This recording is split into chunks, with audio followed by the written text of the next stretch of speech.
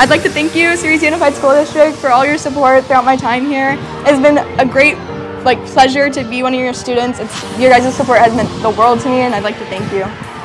We'd also like to thank the teachers and the staff of every Ceres Unified School District because not only the schools we went to, but other schools have supported our students to get to the point where they are today. And that's the reason we're all going off to college. So thank you so much, Series Unified teachers and staff, for everything that you do for us. We love you. Thank you.